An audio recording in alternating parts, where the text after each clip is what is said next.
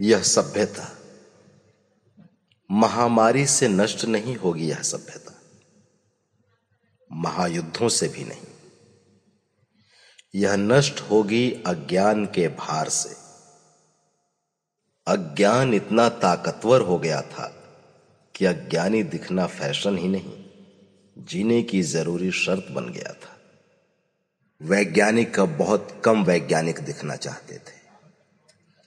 अर्थशास्त्री बहुत कम अर्थशास्त्री दिखना चाहते थे।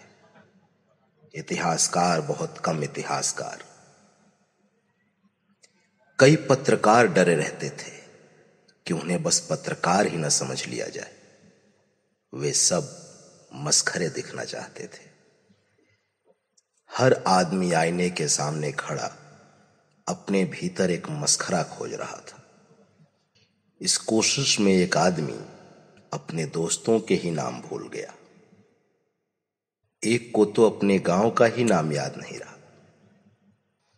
बुद्धि और विवेक को खतरनाक जीवाणुओं और विषाणुओं की तरह देखा जाता था, जो भयानक बीमारियाँ पैदा कर सकते थे। इसलिए गंभीर लोगों को देखते ही नाक पर रुमाल रख लेने का चलन था। एक दिन अज्ञान सिर के ऊपर बहने लगेगा। तब उबरने की कोई तकनीक, कोई तरीका किसी को याद नहीं आएगा। तब भी मस्खरेपन से बाज नहीं आएँगे कुछ लोग। एक विद्रूप हास्य गूंजेगा। फिर अंतहीन सन्नाटा छा जाएगा।